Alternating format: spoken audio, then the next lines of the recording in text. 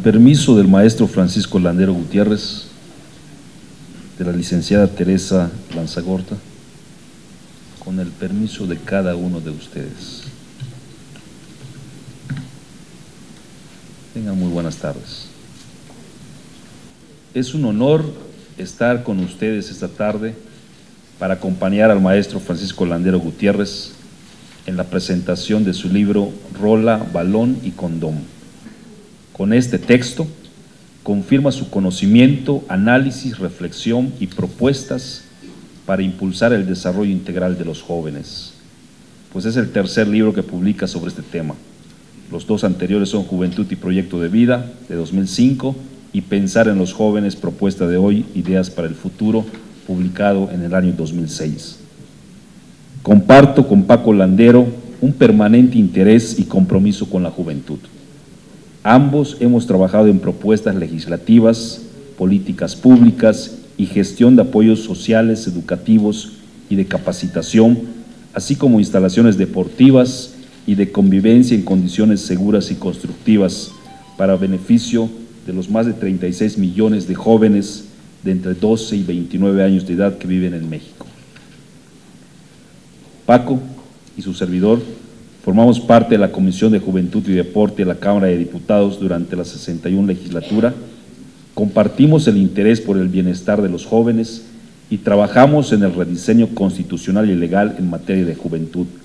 Por un lado, presentamos una iniciativa de reforma constitucional para reconocer expresamente el derecho de las y los jóvenes a su desarrollo integral, materializar su protección y hacer realidad la atención y el apoyo del Estado, así como facultar expresamente al Congreso de la Unión para legislar en la materia.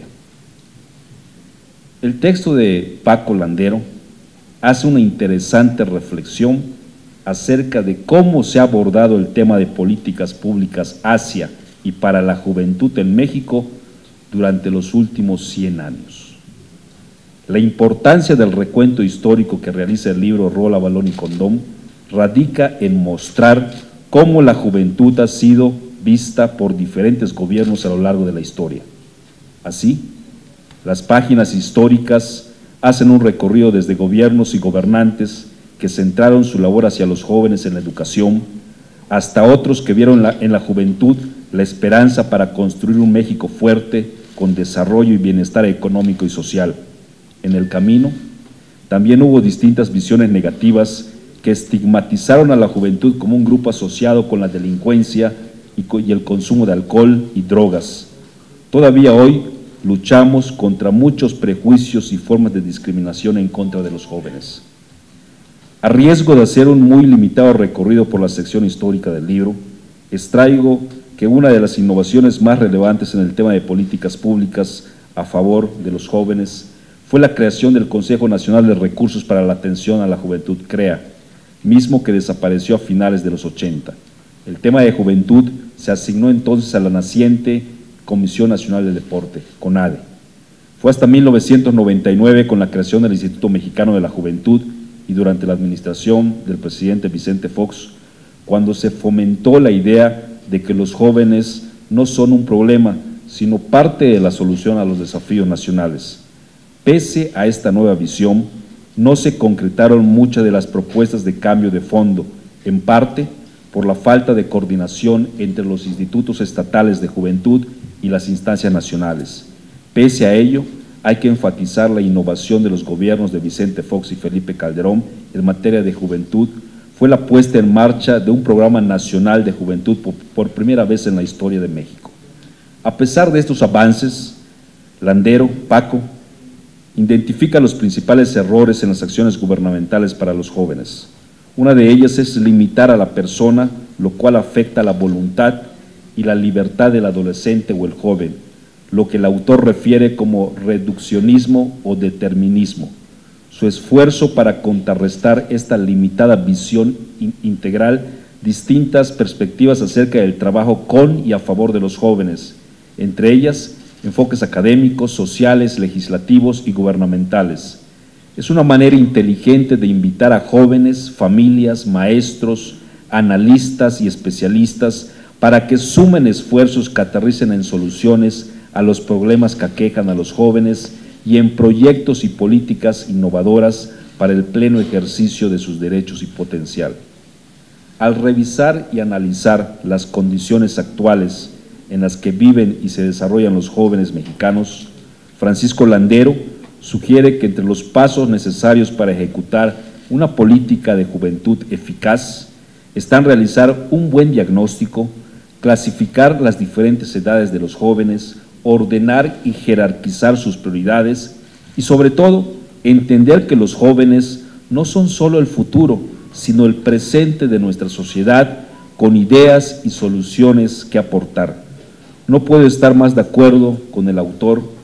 Reconocer a los jóvenes como actores estratégicos de la sociedad fortalece no solo el ejercicio real de sus derechos y dota de un sentido humanista a las políticas públicas que los afectan, sino que incide en el bienestar de sus familias presentes y futuras, de sus comunidades y de todos los espacios en los que participan y actúan.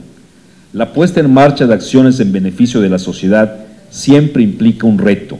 En ese sentido, Paco Landero enfatiza que la instrumentación de políticas de juventud debe considerar diferentes elementos de regionalización, gestión gubernamental, equidad, eficiencia en el uso de recursos y ejes operativos. Asimismo, concuerdo con él en el que para que los proyectos públicos a favor de los jóvenes tengan éxito y puedan adaptarse a sus necesidades, es necesario garantizar transparencia y acceso a la información. Si los programas para los jóvenes reciben recursos públicos, también su uso, eficiencia y resultados deben ser públicos.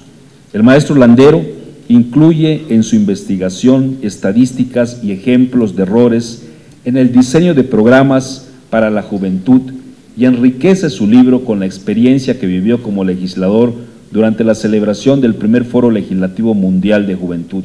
Además, Paco realiza una propuesta de líneas estratégicas a fin de que los jóvenes gocen condiciones efectivas para su desarrollo integral. Subraya que han existido pocos intentos de hacer políticas públicas a favor de la juventud y que en su mayoría no han tenido éxito. Ello explica el título La rola, el balón y el condón, pues si bien estos son elementos propios de la cultura de algunos jóvenes, también son representaciones de la manera en que anteriores administraciones han trabajado con la juventud. A menudo se limitan a proveer conciertos, fomentar el deporte o promover acciones de planificación que si bien son atractivas y los benefician, no consideran las múltiples facetas, gustos, necesidades y esperanzas de nuestros jóvenes, quienes son un grupo homogéneo.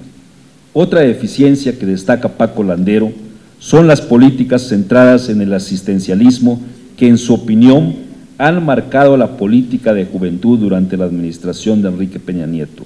Ejemplo de ello, señala, es el cambio de dependencia del INJUVE de la Secretaría de Educación Pública, la SEP, a la Secretaría de Desarrollo Social, SEDESOL, por lo cual, señala el autor, más que comprender y abordar los grandes desafíos juveniles, ve a este sector de la población como un grupo vulnerable. Otra deficiencia al trabajar con jóvenes es la generalización, que maximiza o generaliza un problema que afecta a los jóvenes.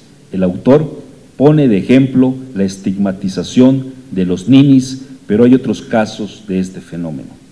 El cortoplacismo o visión materialista, escribe Landero, es otro error común y que mucho tiene que ver con los periodos de gestión en los tres órdenes de gobierno. Se ve a los jóvenes como una meta sexenal o de un trienio, lo que no implica una transformación mayor en nuestra sociedad. La superficialidad y la desvinculación social es otro error que identifica Landero. Solo dan una solución momentánea a los problemas de la juventud y no generan un cambio verdadero. El centralismo es el último mal que enumera el escritor de este libro. Consiste en decisiones tomadas en un escritorio sin tomar en cuenta la participación social. Como todo análisis constructivo, el libro de Paco Landero Gutiérrez no se limita a la crítica, comparte en su texto su amplia experiencia de trabajo con los jóvenes y ofrece propuestas para su desarrollo integral. La participación de los jóvenes, nos dice el autor, debe ser el eje rector de cualquier política pública dirigida a ellos. Si bien no es fácil lograr la confianza de los jóvenes en este tipo de acciones, su participación nos puede encaminar hacia programas juveniles de mayor calidad y con alcance presente y futuro. El autor es acertado al no poner conclusiones en su texto, sino un epílogo. El tema de juventud es hoy más relevante que nunca. Los jóvenes no son solo la tercera parte de nuestra población, sino que México vive un momento histórico con el bono juvenil que para ellos y para todos es presente y ruta del futuro. Termino mi participación con una reflexión que sé que Paco Landero y yo compartimos. Es hora de garantizar el goce pleno de los derechos de los jóvenes y el desarrollo integral de sus capacidades, fuerza, creatividad y vitalidad. Es necesario que abramos todos los espacios posibles para que expresen sus opiniones y participen en la vida pública, en la economía, en la política, en los espacios culturales. Muchas felicidades, Paco, por este. Es un honor.